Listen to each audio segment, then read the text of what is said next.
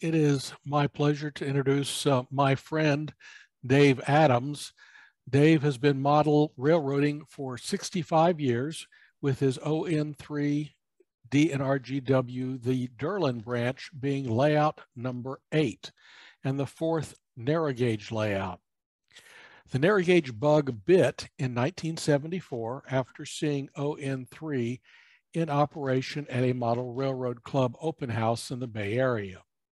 Somehow, Dave convinced his bride that their honeymoon should be spent in Colorado discovering narrow gauge country.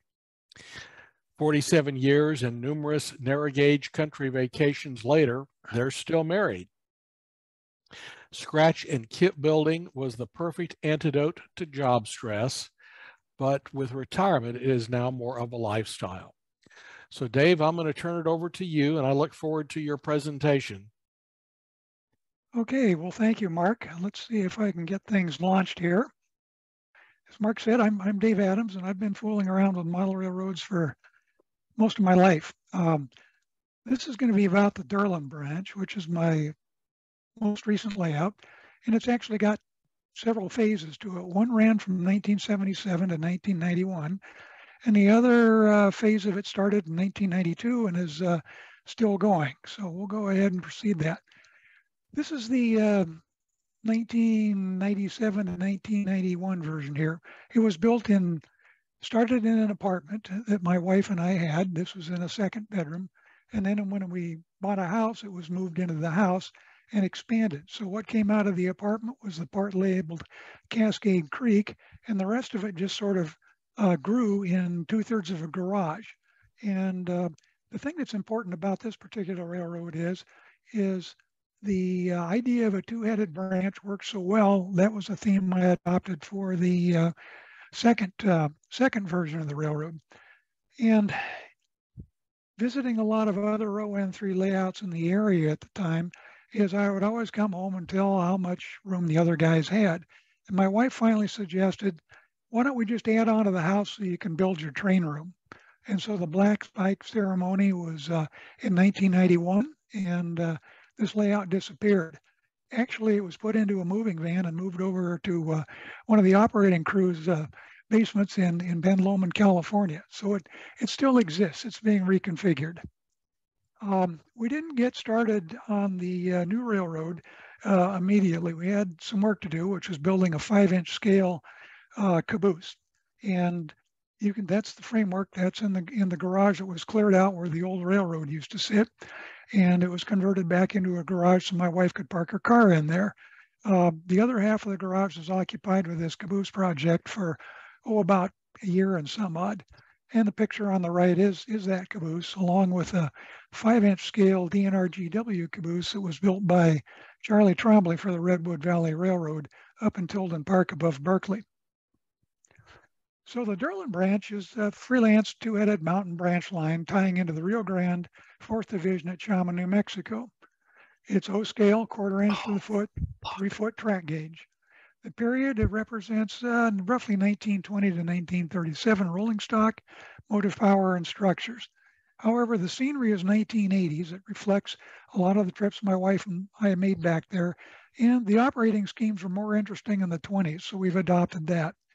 The layout occupies a space of 18 and a half by 27 feet. It's partial double deck, walk around design, and we actually got started seriously on it in 1992. Track is all hand laid, code 183 and 70 pound rail, 40 inch minimum radius on the main tracks, 36 on some spur tracks. Control is CVP Easy DCC with ops radio throttles. And the decoders I've standardized on SoundTraxx just to avoid too much uh, confusion and frustration. So this is the uh, lower level of, of the current railroad. Um, at that time, I was doing a lot of drafting, and um, so I, I, chose to uh, draft rather than learn how to do CAD. So apologize for the crudeness of this, but that's it. This is all one level. This is all at uh, a height of uh, 41 and a half inches rail height off the floor.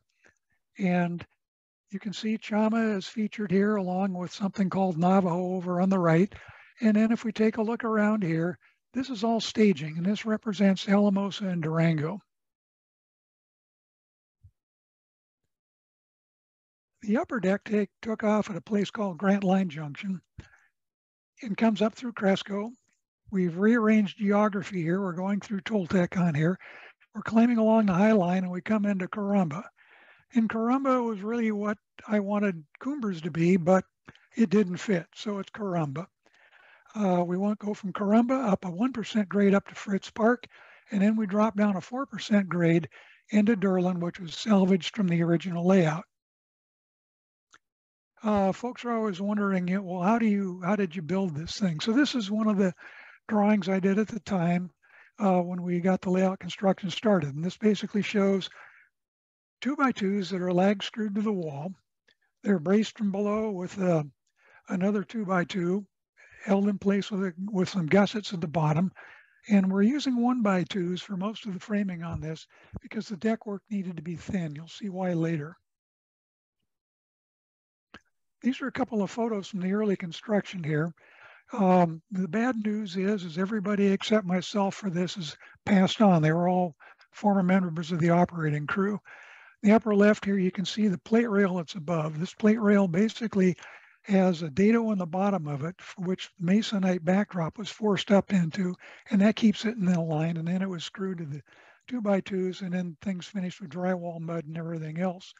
Uh, you can see the lower deck down here, upper deck going in. Uh, over on the right, this is my good friend Dick Lucas, uh, who basically scratch built a modern ma model masterpiece turntable for me, and this is installing it at the time. This is another good friend, Jim Holmes, and here he's basically pulling some ground wires around here. You can see at this point we've got the fascia on. When we added fascia to this rickety looking, really narrow benchwork up here, this thing just stiffened up like a like a drum. And uh, we haven't had a problem with it since. You can see it's still DC control as evidenced by the rotary knobs and everything else. And this right here is the big turn back loop that uh, gains elevation uh, from Cresco headed up to, uh, to Corumba. In the center here is a one inch scale mock-up. And I know this was talked about a few uh, layout tours ago of how invaluable these are, and they really are. If you haven't built one of these, you really need to. When you enter the layout room, this is what you see when you look to your left. Um, what you see down here is the dispatcher's desk. Above it is Durlin as saved from the original railroad. Over on the right are the model building benches. Above it is the staging yard I was uh, talking about. And above this is the town of Flint. And against the back wall is Navajo. And up above it, the climb out of Durlin up to uh, Fritz Park. Get at the end of the peninsula, we walk around that. We can see Navajo to the left, Fritz Park up above to the left. Uh, this right here is the west part of uh, My Chamacene, and above it is Fritz Park. And this is just the climb up the grade to uh, coming around on the right. Looking down the aisle from that end of the peninsula here, uh, we've got Fritz Park again up on the left, Chama on the lower left, Cresco and the High Line on the right, and at the far end on the lower level is Grant Line Junction, and above it is Corumba. And we're going to start the tour in Chama here. And I won't this, this structure is scratch built. It's uh, built out of styrene. The shingles are uh, Crystal River and the uh, decking and wood and everything is uh, home cut uh, sugar pine on a uh, on my table saw. And this this building has a an interior for the office, the waiting room, the agent's quarters, and the train the trainman's lobby. This is headed eastward into uh, into Chama. Um, the stock pins are all scratch built. Those were built from uh, a whole bunch of dimensions I took in the uh, early 70s, early 80s, uh, before the Friends had started to rebuild the structure. And so this kind of represents what the last of the Rio Grande had there. If we continue on down into Chama here, this is a track scale house.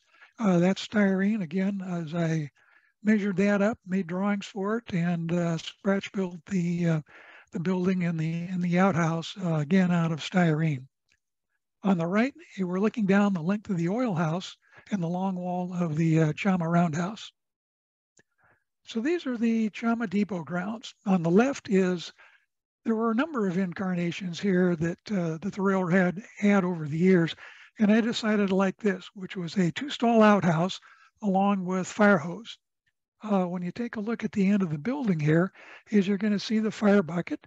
You're going to see, or the fire barrel, you'll see two fire buckets. Those fire buckets have round bottoms. And the reason a fire bucket had a round bottom is people were not inclined to steal them. Who wants a bucket when you put it on the ground, it falls over and doesn't hold anything? So that's uh, where fire buckets came from and uh, why they were used. Moving on, this is the uh, four of the stalls of the uh, Chama Roundhouse. Uh, again, this building is scratch built, uh, has a complete interior machine shop. We'll see later. Uh, and it this was a COVID-19 project. I uh, had had lived with a mock-up for I don't know close to 20 years, and I thought it was time I actually built a structure that needed to go there. So these are just a couple of pictures taken through some of the windows here. Uh, upper left is the boiler room.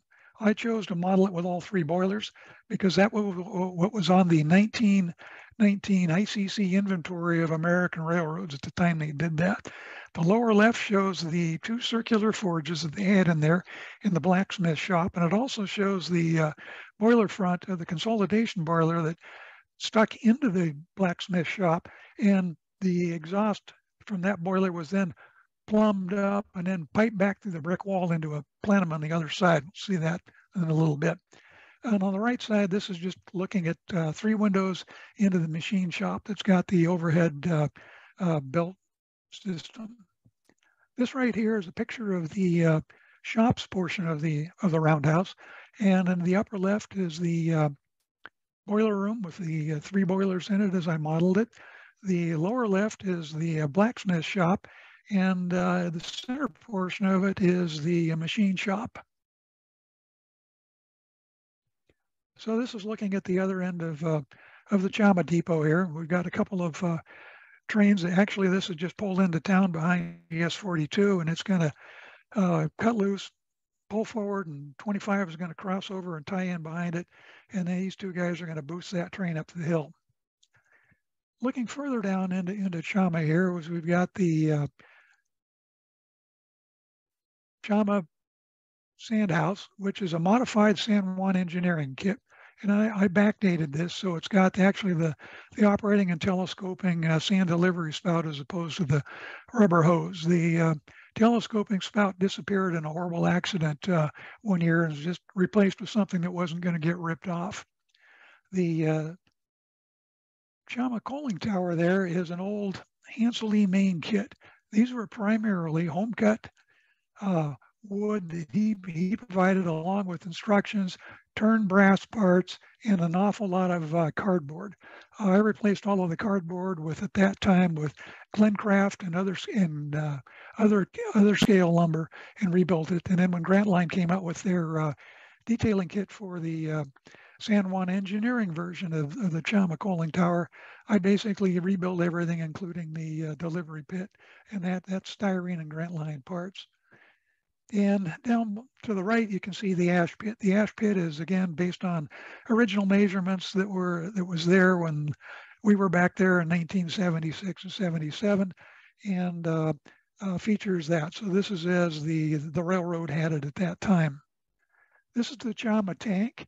It's a modified Crystal River kit. It's got operating spouts and sound.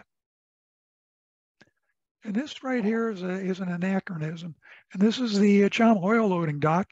But I like the Chama oil loading dock. And so I built this from, a, at that time it was a Chama Shops kit, uh, modified based on a bunch of dimensions I'd taken when I was back there measuring things.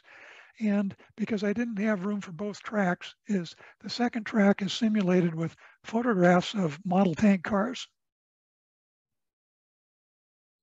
This right here is uh, heading out of town toward Grant Line Junction at the far far east of uh, of um. That's a York structure on the left. Uh, the house was built by Jerry Merker, a friend of mine, and the flat car and flanger are San Juan Car Company kits. And the shovel is a Durango press kit that was built by uh, by Ken Kukak. Here we are passing through Grant Line Junction. Uh, again, we've got RGS 42 and 25 Both those engines were outshot by uh, my good friend Ken Kukup. And here we've got a, uh, a rail fan basically uh, taking a couple of photographs of the thing going through the junction. Exiting the junction as we're now headed into East Cresco Switch.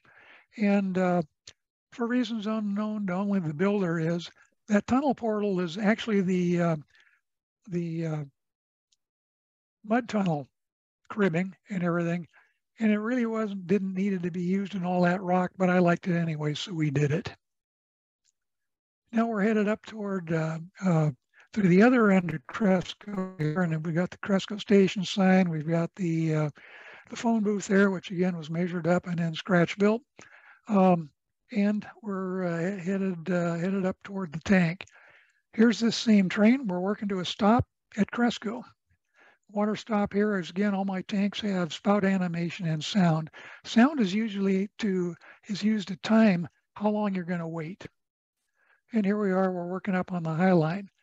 The Rio Grande had some interesting trestles, but they weren't half as neat as the RGS. So my high line consists pretty much of RGS side hill trestles. Again, these are all scratch built. Now we'll bounce up to Durlin and see what the tour looks like from that end. So this is the long view. This is pretty much all there is to Durlin on that. It's the it's the depot. It's a couple of tracks, uh, three-way switch leading to a turntable, and a, and a crossover. And on the back side of the depot is uh, we've got some industries. This is another look at some of the industries along that back track we just looked at. We've got a coal dealer here. Again, that's scratch built. Uh, that was built from a bunch of dimensions I took off of a coal shed that used to be in Antonito. Uh, the Durlin Oil Company was built from an article in the Narrow Gauge and Short Line Gazette. And the uh, stock chutes on the right, well, those are the cattle chutes that were at uh, in the in the at the part of the Chama stock pen grouping. The big industry up um,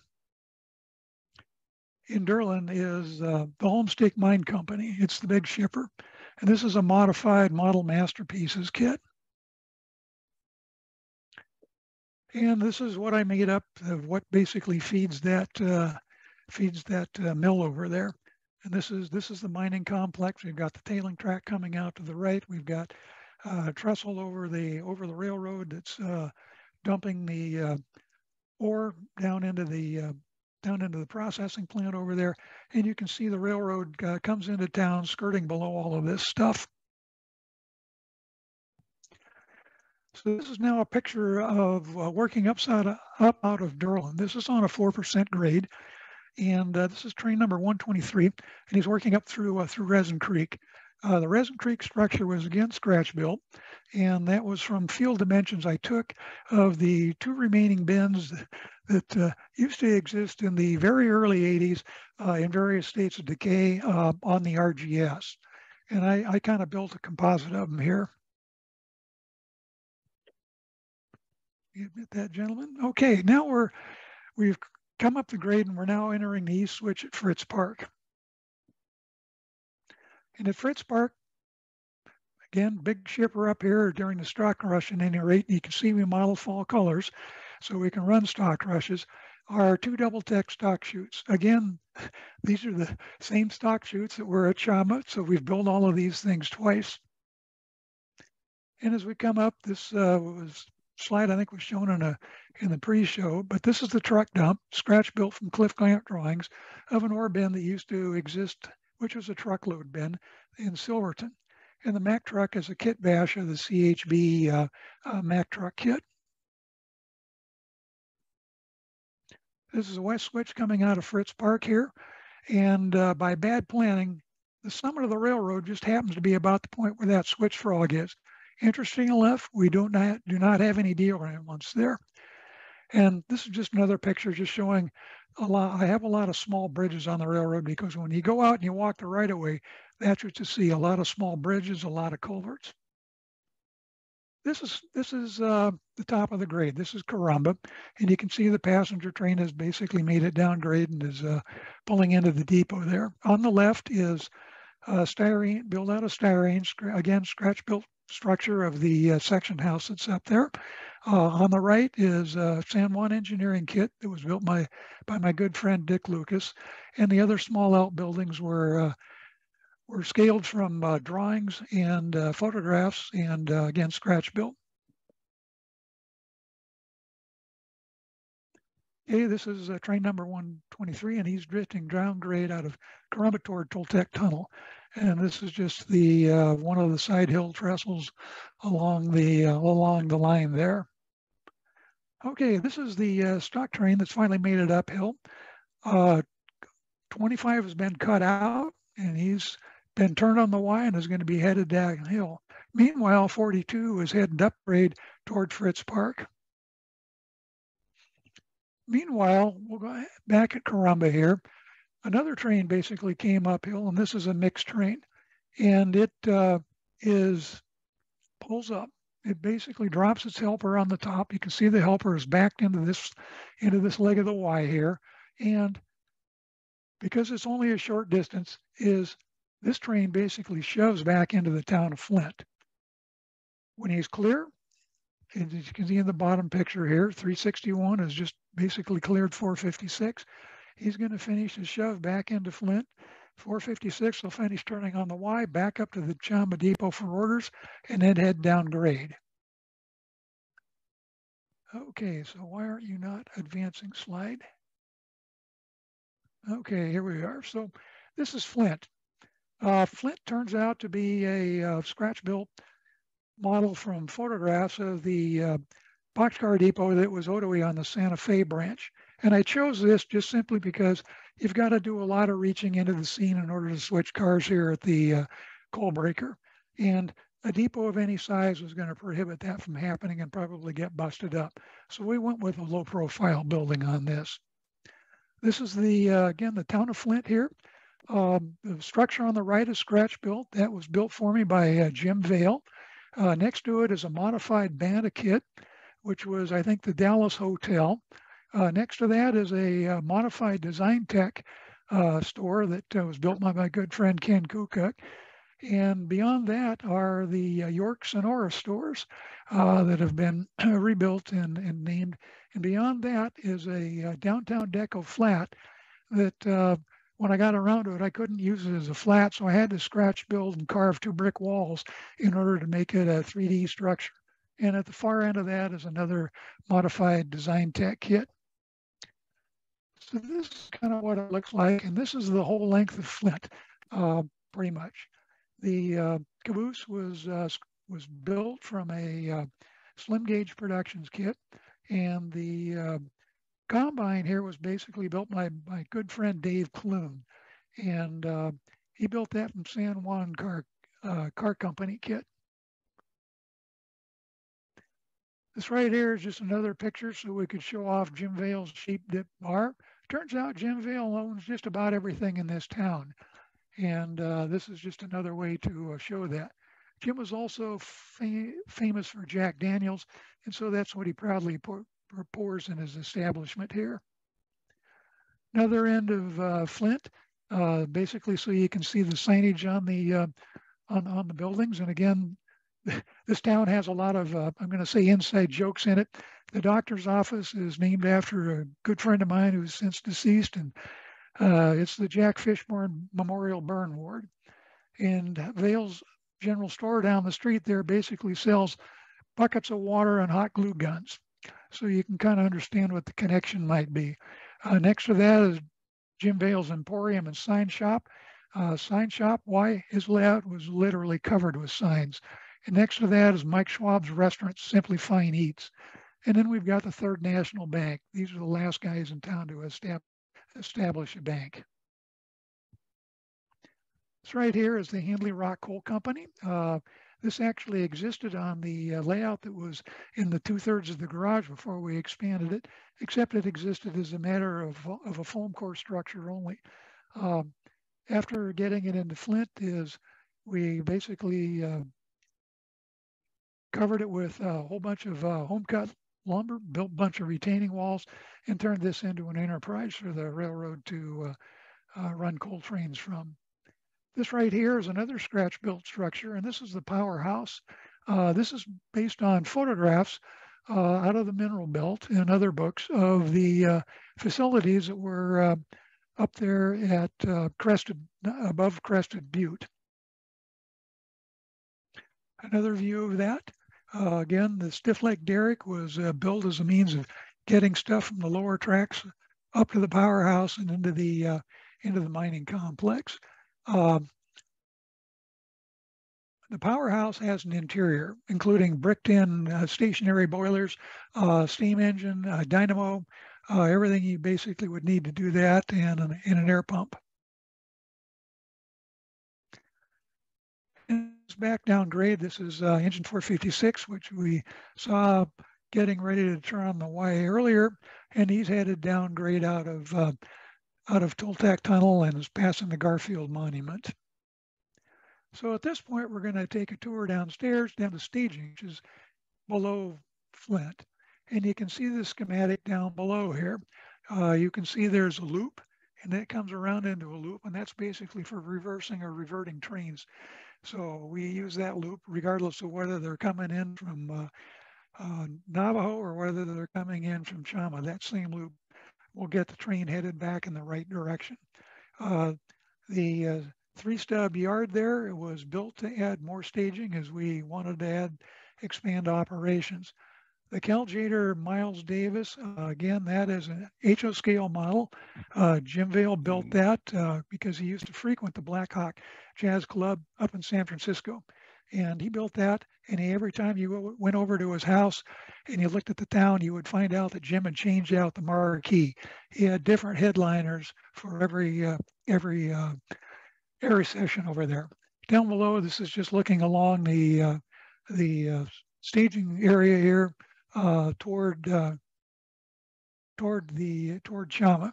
And down at the bottom here, you can kind of see where staging exits into the visible scene here at the west uh, at the west end of, uh, of, of Chama there.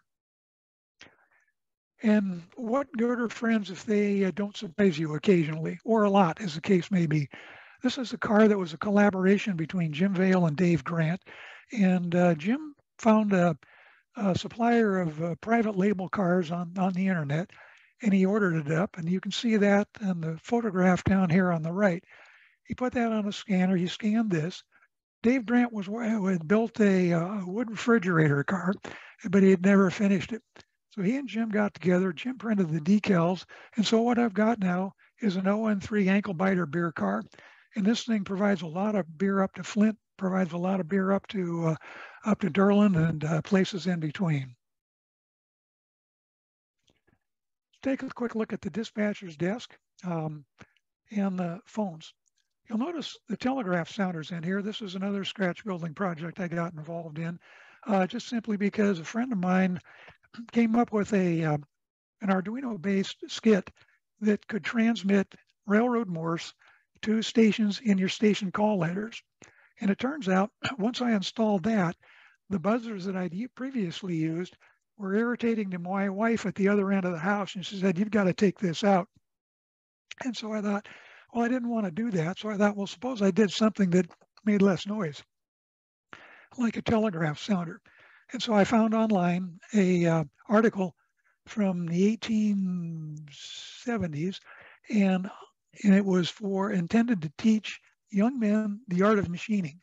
And one of the things was in there was construction of a telegraph sounder. And so I basically read that article, I modified it in order to uh, fit modern day materials and things that I could get a hold of. And uh, that, that's what we've got here. So you can see that over here. We've got the gate arm phone for the dispatcher. We've got a telegraph sounder.